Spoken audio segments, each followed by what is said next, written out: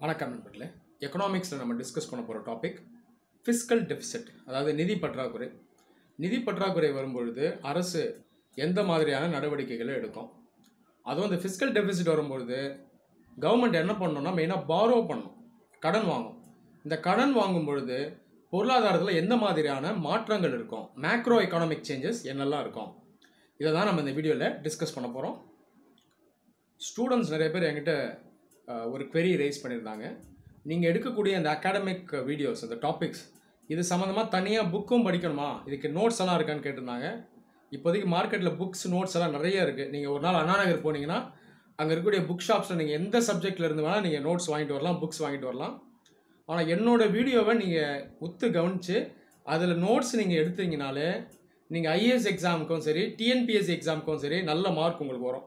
IAS எக்ஸாமுக்கு ஸ்பெசிஃபிக்காக நான் சொல்லக்கூடிய அந்த பாயிண்ட்ஸை கவனித்து நீங்கள் நோட்ஸாக எடுத்து மெயின்ஸ் எக்ஸாமினேஷனில் எழுதிங்கனாலே உங்களுக்கு முதல் நூறு ரேங்க்கில் எடுக்கக்கூடியவங்க என்ன மார்க் எடுப்பாங்களோ அந்தந்த சப்ஜெக்டில் அதுக்கான மார்க் உங்களுக்கு கண்டிப்பாக வரும். அதுக்கான தாட் ப்ராசஸை நீங்கள் உருவாக்கணும். ஸோ இதை நீங்கள் மைண்டில் வைங்க. சரி இப்போ ஃபிஸ்கல் டெஃபிசிட்டுக்கு வரலாம். ஃபிஸ்கல் டெஃபிசிட் அப்படிங்கிறது என்னங்கிறது நம்ம பார்க்கலாம். ஒரு நாட்டுக்கு வரவு செலவு ரெண்டுமே இருக்கும். இப்போ ஒரு வீடு எப்படி? ஒரு ஃபேமிலிக்கு எப்படி வரவு செலவு இருக்குமோ அதே மாதிரி தான் நாடும். ஒரு வருஷம் ஃபுல்லாக ஒரு நாட்டுக்கு வரவு இருக்கும். இது வந்து ரிசிப்ட்னு சொல்லுவாங்க. அதே போல் செலவும் இருக்கும். இது வந்து எக்ஸ்பெண்டிச்சர் ஜென்ரலாக எப்பயுமே வரவு செலவை விட அதிகமாக தான் இருக்கணும். இதுதான் எல்லாருமே விரும்புவாங்க. இந்த நிலையை ஃபிஸ்கல் சர்ப்ளஸ்னு சொல்லுவாங்க. அப்படின்னா சிம்பிளாக சர்ப்ளஸ்னு சொல்லுவாங்க. எப்பயுமே சர்ப்ளஸ் இருக்கிறதா ஒரு நாட்டுக்கு நல்லது. இதுதான் ஒரு ஹெல்த்தியான எக்கனாமிக் கண்டிஷன் ஆனால் நீங்கள் ப்ராக்டிக்கலாக பார்த்தீங்கன்னா இந்தியா போன்ற நாடுகள் இந்த மாதிரி டெவலப்பிங் கண்ட்ரீஸ் மெயினாக ஃபிஸ்கல் டெஃபிசிட்லேயே இருப்பாங்க. டெஃபிசிட்டுங்கிறது நிதி பற்றாக்குறை. இந்த பற்றாக்குறை எப்போ வரும்னா ஒரு சில நேரத்தில் செலவு வரவை விட அதிகமாக போயிடும். இந்த நிலை தான் ஃபிஸ்கல் டெஃபிசிட் அப்படின்னு நம்ம சொல்லுவோம். ஃபிஸ்கல் டெபிசிட்டோடைய சிம்பிள் ஃபார்முலா என்னென்னா total expenditure minus total receipt இதை ஞாபகம் வச்சுக்கோங்க. இந்த எக்ஸ்பெண்டிச்சர் ரிசிப்டுக்குள்ளேயே ரெண்டு அக்கௌண்ட் இருக்குது கேபிட்டல் அக்கௌண்ட் ஒன்று ரெவென்யூ அக்கௌண்ட் ஒன்று இதுக்குள்ளே இப்போதைக்கு ரொம்ப போக வேண்டாம். வரவு செலவு ரெண்டை மட்டும் ஞாபகம் வச்சுக்கோங்க. சரி இப்போ நிதி பற்றாக்குறை வந்துருச்சு. ஃபிஸ்கல் டெபிசிட் வந்துருச்சு. அப்போ இதிலிருந்து எப்படி மீண்டு வருது அப்போ இந்த கேப்பை எப்படி பிரிட்ஜ் பண்ணுறது அப்படின்னு பார்த்தீங்கன்னா ஜென்ரலாக இந்திய அரசு என்ன பண்ணணும்னா முதல்ல இவங்க கொஞ்சம் இருப்பு பணத்தை ஆர்பிஐ கிட்ட வச்சுருப்பாங்க. ஆர்பிஐ ரிசர்வ் பேங்க் இதுதான் நம்மளுடைய சென்ட்ரல் பேங்க் இந்த பணத்தை கொஞ்சம் எடுத்து இந்த நிதி பற்றாக்குறையை சீர் செய்ய முடியுமா அப்படின்னு நம்ம அவங்க பார்ப்பாங்க. ஏன்னா இந்த நிதி பற்றாக்குறையை சீர் செஞ்சால் தான் மக்களுக்கான அந்த ந- அந்த நலத்திட்டங்களை அப்படியே செயல்படுத்த முடியும். நாட்டை வளர்ச்சி பாதையில் எடுத்துகிட்டு போக முடியும். அப்போ இதை ஃபஸ்ட்டு ட்ரை பண்ணுவாங்க. ரெண்டாவது என்ன பண்ணுவாங்கன்னா மார்க்கெட்ல இருந்தே பாரோ பண்ணுவாங்க. மார்க்கெட்னு சொல்லக்கூடிய சந்தை. அதுலேருந்து பாரோ பண்ணுவாங்க. ஆனால் இந்த ரெண்டு சோர்ஸில் இருந்துமே பெருசாக அந்த அளவுக்கு ஃபண்ட்ஸை எடுக்க முடியாது கவர்மெண்ட்டால் அப்போ மூணாவதாக ஒரு சோர்ஸ் இருக்குது இதுதான் மெயினான சோர்ஸ் இந்த மெயினான சோர்ஸ் என்ன அப்படின்னு பார்த்தீங்கன்னா ஆர்பிஐ கிட்டேருந்தே இவங்க பாரோ பண்ணுவாங்க. கடனை ஆர்பிஐ கிட்டேருந்தே வாங்குவாங்க. நான் சொன்னது போல் ஆர்பிஐ கிட்டேருந்து இருக்கக்கூடிய அந்த இருப்பு நிதியையோ மார்க்கெட்டில் வாங்கக்கூடிய அந்த பாரோயிங்ஸை வச்சு மட்டுமே இந்த ஃபிஸ்கல் டெபிசிட்டை காம்பன்சேட் பண்ண முடியாது. காரணம் என்னென்னா இந்த ஃபிஸ்கல் டெபிசிட் ரொம்ப அதிகமாக இருக்கும். சராசரியாக ஒரு வருஷத்துக்கு ஒரு டூ பாயிண்ட் ஃபைவ் பர்சன்ட்லேருந்து த்ரீ பாயிண்ட் ஃபைவ் பர்சன்ட் வரைக்கும் இருந்துகிட்ருக்கு இந்தியாவில் இது ஒரு சில வருஷமாக கொஞ்சம் இறங்கியிருக்கே தவிர ஆல்மோஸ்ட் இந்த ரேஞ்சில் தான் இருக்கும். எப்படி இதை கால்குலேட் பண்ணுவாங்கன்னா பெர்சன்டேஜ் ஆஃப் ஜிடிபி வச்சு கால்குலேட் பண்ணுவாங்க. ஒட்டுமொத்த ஜிடிபியில் இந்த ஃபிஸ்கல் டெபிசிட் எவ்வளோ இருக்குன்னு பார்ப்பாங்க. இப்போ த்ரீ பர்சன்ட் ஆஃப் ஜிடிபினா டோட்டல் இந்தியாவோட ஜிடிபி எவ்வளவோ அதில் ஃபிஸ்கல் டெபிசிட் மட்டுமே த்ரீ பர்சன்டேஜ் இருக்குது அப்படின்னு அர்த்தம். அப்போ அந்தளவுக்கு இருக்கக்கூடிய அந்த பற்றாக்குறையை சரி செய்யணும்னா கண்டிப்பாக ரிசர்வ் பேங்க்கிட்ட இருந்தே இவங்க கடன் வாங்கி ஆகணும். அப்போ மெயினாக இந்தியா எப்பெல்லாம் ஃபிஸ்கல் டெபிசிட்டில் போதோ அப்பெல்லாம் சென்ட்ரல் கவர்மெண்ட் ஆர்பிஐ கிட்டேருந்து மெயினாக பாரோ பண்ணும். சரி இப்போ இந்த பாரோயிங் ப்ராசஸ் எப்படி நடைபெறுறதுல நான் இப்போ சொல்கிறேன் கவர்மெண்ட் என்ன பண்ணுவாங்கன்னா அவங்க கையில் இருக்கக்கூடிய கவர்மெண்ட் செக்யூரிட்டிஸ் ஷார்ட்டாக ஜி செக்ஸ்னு சொல்லுவாங்க. இந்த ஜி செக்யூரிட்டிஸை ஆர்பிஐ கிட்ட அடகு வைப்பாங்க. ஜி செக்யூரிட்டிங்கிறது ஒன்றும் கிடையாது. கவர்மெண்ட்டுடைய அந்த கடன் பத்திரம் தான் இந்த கவர்மெண்ட் செக்யூரிட்டிஸ் இதை கவர்மெண்ட் பாண்ட் அப்படின்னும் சொல்லுவாங்க. எல்லா நாடுமே இந்த மாதிரி பாண்ட்ஸை இஷ்யூ பண்ணுவாங்க. அப்போ இந்த கவர்மெண்ட் பாண்ட்ஸை கவர்மெண்ட் என்ன பண்ணுன்னா ஆர்பிஐ கிட்ட அடமானம் வைக்கும். இதுக்கு ரிட்டர்னாக அந்த கடனை ஆர்பிஐ கிட்டேருந்து வாங்கும். இந்த கடனை வாங்கி தான் அந்த ஃபிஸ்கல் டெபிசிட்டை இவங்க வந்து சரி செய்வாங்க. சரி.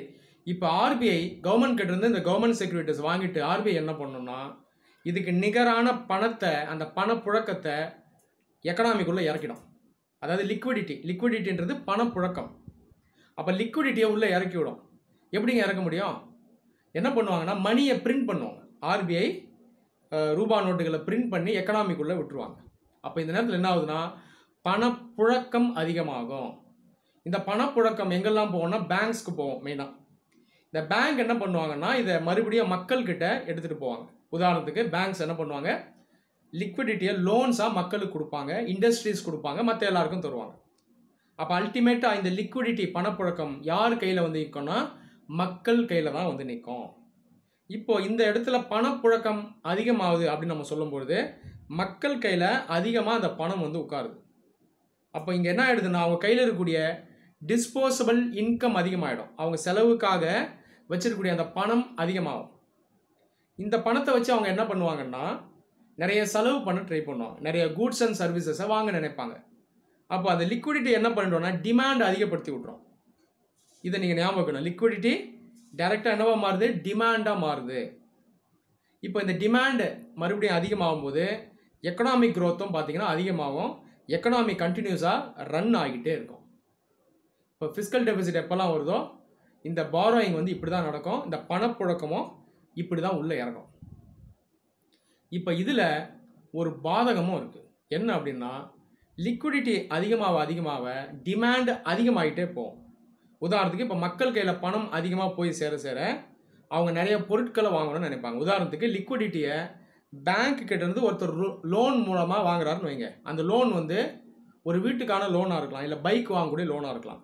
அப்போ இந்த மாதிரி லிக்விடிட்டியை பேங்க் கிட்டேருந்து வாங்கி எல்லாரும் பல பொருட்களையும் சேவைகளையும் வாங்க ஆசைப்படுவாங்க.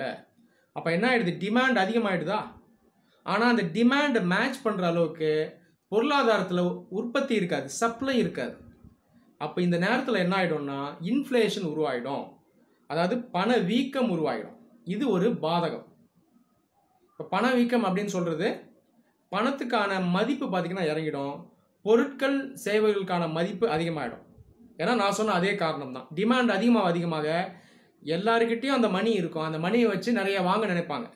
ஆனால் அந்த டிமாண்டை ஈக்குவல் பண்ணுறதுக்கான சப்ளை இருக்காது உற்பத்தி இருக்காது. அப்போ என்ன ஆகிடும் அந்த உற்பத்தி பொருட்களுடைய மதிப்பு அதிகமாகிடும் இந்த நிலையை தான் இன்ஃப்ளேஷன் அப்படின்னு சொல்கிறோம் பண வீக்கம். அப்போ இதையும் நம்ம முக்கியமாக கவனிக்கணும். ஃபிஸ்கல் டெபிசிட் வரும்பொழுது அரசு ஆர்பிஐ கிட்டேருந்து அந்த ஃபண்டை வாங்குது. இந்த ஃபண்டு எக்கனாமிக்குள்ள லிக்விடிட்டியாக இறங்குது. இறங்கும் பொழுது பொருளாதார வளர்ச்சி அதிகமாகுது. எக்கனாமி பார்த்தீங்கன்னா கண்டினியூவாக இன்னும் போய்கிட்டு இருக்குது. அதே நேரத்தில் இன்ஃப்ளேஷனும் அதிகமாகுது. இது ஒரு விதமான ஒரு பாதக செயலும் இதில் வந்து உருவாகுது. இன்ஃப்ளேஷன் ஓரளவு இருக்கலாம் நாட்டுக்குள்ளே. ஆனால் ஒரு லெவலுக்கு மேலே போயிடுச்சுன்னா அது ஆபத்து. இதை நீங்கள் மெயினாக மைண்டில் வைக்கணும். இப்போது டெவலப்டு கண்ட்ரீஸ்லலாம் என்ன பண்ணுவாங்கன்னா அந்த அரசு சென்ட்ரல் பேங்க்கிட்டேருந்து மட்டுமே இந்த நிதியை வாங்காது. அதாவது அந்த கவர்மெண்ட் செக்யூரிட்டிஸை அந்தந்த நாட்டில் இருக்க சென்ட்ரல் பேங்க்கிட்ட மட்டுமே கொண்டு போய் அடகு வைக்காது. இதை அவங்க என்ன பண்ணுவாங்கன்னா மக்கள்கிட்டயே விற்றுருவாங்க அப்போ மக்களே என்ன பண்ணுவாங்கன்னா மக்கள் ஒரு சில மக்கள்கிட்ட பணம் அதிகமாக இருக்கும். அவங்க என்ன பண்ணுவாங்கன்னா இந்த கவர்மெண்ட் செக்யூரிட்டிஸை வாங்கிட்டு அந்த நிதியை கவர்மெண்ட் கிட்ட கொடுப்பாங்க. அப்போ இதில் நீங்கள் உத்து கவனிச்சிங்கன்னா இதில் இன்ஃப்ளேஷன் அதிகமாகாது ஏன்னா மக்கள் அவங்க கையில் இருக்க பணத்தை கொடுத்து இந்த கவர்மெண்ட் செக்யூரிட்டிஸை வாங்குறாங்க. அப்போ இதில் இரட்டை லாபம் இருக்குது அரசுக்கு நிதியும் போயிடும் ஃபிஸ்கல் டெபிசிட்டும் சரியாக போயிடும். அதே நேரத்தில் இன்ஃப்ளேஷனும் அதிகமாகாது ஆனால் இந்தியாவில் இந்த மிகப்பெரிய பிரச்சனை இருக்குது ஃபிஸ்கல் டெபிசிட் வரும்போதெல்லாம் இன்ஃப்ளேஷனும் அதிகமாகும். நீங்கள் கேட்கலாம் அப்போ இந்திய மக்கள் ஏன் இந்த கவர்மெண்ட் செக்யூரிட்டிஸை வாங்க மாட்டாங்கன்னு கேட்டிங்கன்னா இந்த கவர்மெண்ட் செக்யூரிட்டிஸில் லாபம் அந்தளவுக்கு கிடையாது. இதில் ரிட்டர்ன் இருக்காது. இந்த கவர்மெண்ட் செக்யூரிட்டிஸில் பார்த்தீங்கன்னா இன்ட்ரெஸ்ட் ரேட் ஃபிக்ஸ் பண்ணி வச்சுருப்பாங்க. நீங்கள் கவர்மெண்ட் செக்யூரிட்டிஸ் வாங்கினீங்கன்னா உங்களுக்கு இதில் ப்ராஃபிட் என்னன்னா அந்த இன்ட்ரெஸ்ட் ரேட்டு தான். உங்களுக்கு வந்து வட்டி வந்து கிடைக்கும். ஆனால் இந்தியாவினுடைய கவர்மெண்ட் செக்யூரிட்டிஸ் அந்த பாண்ட்ஸில் வரக்கூடிய ரிட்டர்ன் பார்த்தீங்கன்னா ரொம்ப ரொம்ப கம்மி. இந்த காரணத்தினால தான் அதை மக்கள் வாங்க மாட்றாங்க. ஆர்பிஐயே அதை வாங்குது.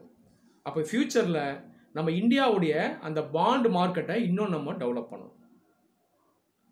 ஸோ இதுதான் இந்த fiscal deficit and borrowing system of the government.